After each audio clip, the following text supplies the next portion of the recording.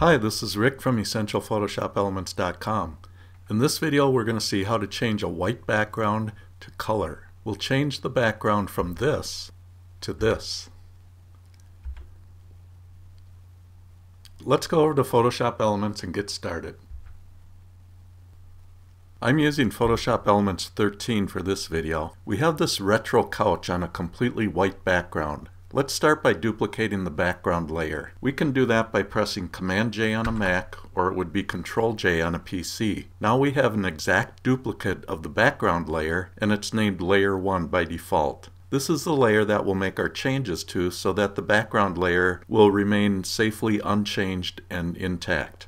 I'm going to go over to the toolbox and make the magic wand tool active. It's located in this lower right corner of the select section of the toolbox, but it shares that space in the toolbox with other tools. In my toolbox, the quick selection tool is currently showing in that spot. Whatever tool is showing there, go ahead and click on it to make it the active tool.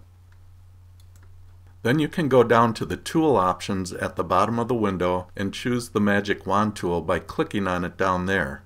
It looks like a wand with a yellow star at the end of it.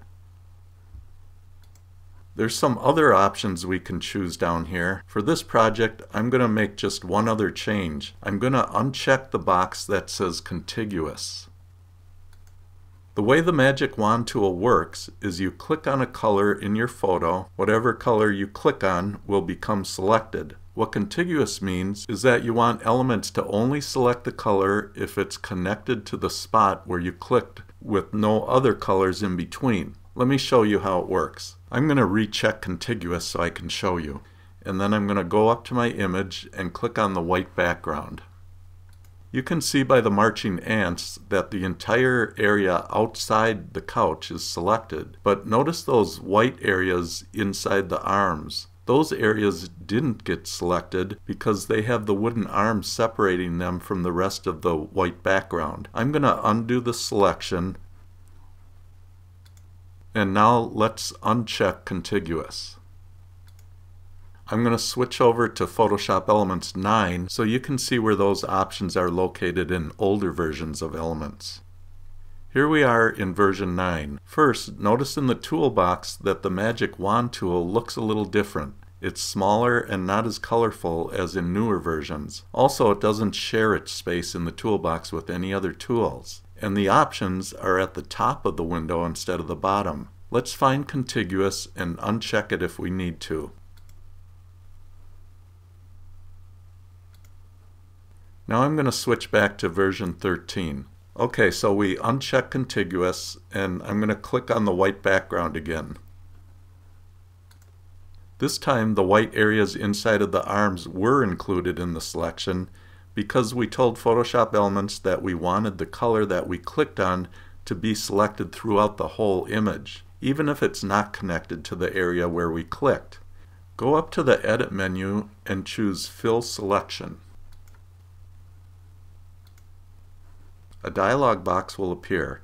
In the Contents area, there's a drop-down field next to the word Use. From that, choose Color.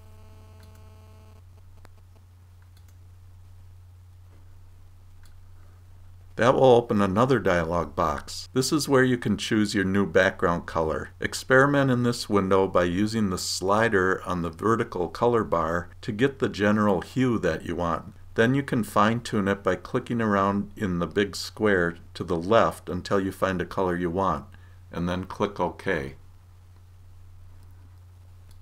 Now click OK in the Fill Layer box and you should have your new colored background. All that's left to do is deselect the background. Do that by going up to the Select menu and choose Deselect.